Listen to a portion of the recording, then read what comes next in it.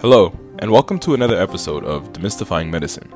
In this episode, we will be exploring the world of animal cloning. Although the topic of animal cloning is controversial to say the least, researchers and scientists alike have argued for ways in which cloning can be useful. But first, you might be wondering, what exactly is animal cloning? Well, according to the US Food and Drug Administration, cloning is a complex process that lets one copy the exact or inherited traits of an animal. Most famously, scientists at the Roslin Institute who were attempting to develop a new method for producing genetically modified livestock cloned a sheep named Dolly. There once was a time where if this sheep passed away, there were no other options. However, due to the work of these scientists, as well as other researchers across the globe, the cells of one sheep can be used to make a new yet identical sheep. To produce Dolly, udder cells from a six-year-old Finn Dorset white sheep were used the scientists were able to find a way to reprogram the udder cells to ensure they were alive, but also to stop further growth. The cells from the udder were then placed into an unfertilized egg from a Scottish black-faced ewe, which had its nucleus removed. This was crucial to ensure the genetic material was passed on. To ensure the sheep cell was fused with the egg, electrical pulses were used to stimulate fertilization. The egg was then implanted into the surrogate mother, which was another black-faced ewe. 277 cell fusions, 29 early embryos, and 13 surrogate mothers later, one pregnancy went to full term and Dolly the sheep was born. Dolly lived in the Roslin Institute, and she even mated and produced offspring. Unfortunately, at the age of 6, she was euthanized due to complications which are common in sheep raised indoors, including arthritis in the hind leg. In terms of the visual looks of the cloned animal, it will not look completely identical to the original. This is because, in conjunction with the genetic material, the environment also plays a large role in how an organism develops.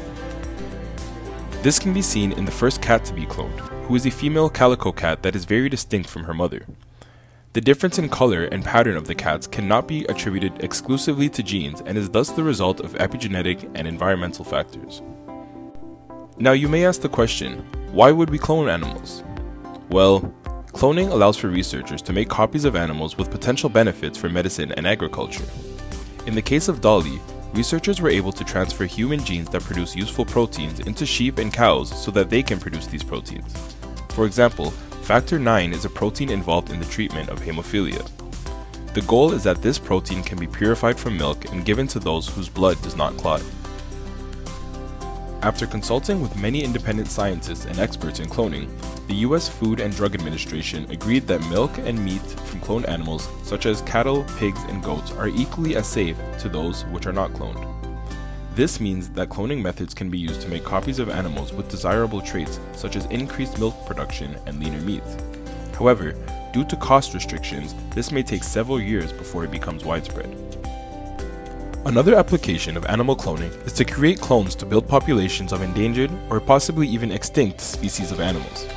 This took place in the early 2000s where researchers produced the first clone of an endangered species known as a gaur, or more commonly known as the Asian ox. Sadly, the baby gaur, which had developed inside a surrogate cow mother, died just a few days after its birth. In 2003, another endangered species of ox called a banteng was successfully cloned. Soon after, three African wildcats were cloned using frozen embryos as a source of DNA. Some experts think cloning can save many species that could become extinct, while others argue that cloning produces a population of genetically identical individuals that lack the genetic variability necessary for species survival. Researchers have observed some adverse health effects in sheep and other mammals that have been cloned.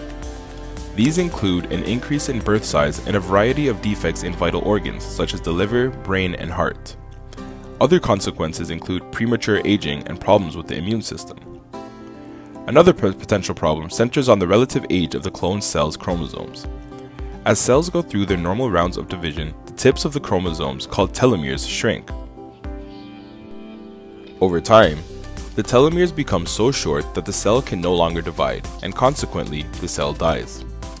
This is part of the natural aging process that seems to occur in all somatic cell types. As a consequence, clones created from a cell taken from an adult might have chromosomes that are, that are already shorter than normal, which may condemn the cloned cells to a shorter lifespan. For example, Dolly was cloned from the cell of a 6-year-old sheep whose cells have undergone many rounds of division, leading to chromosomes that were shorter than those of other sheep her age. As a result, Dolly died when she was 6 years old, about half the average sheep's 12 year lifespan. The last application of animal cloning that we will touch upon in this video is stem cell transplants. Stem cells, which go on to form all cells of an organism, can be manipulated to repair damaged or deceased organs and tissues. However, cells transferred from one person to another, such as in bone marrow transplants, are occasionally seen as foreign and trigger an immune response. To combat this, researchers are looking at cloning as a way to create stem cells that are genetically identical to an individual.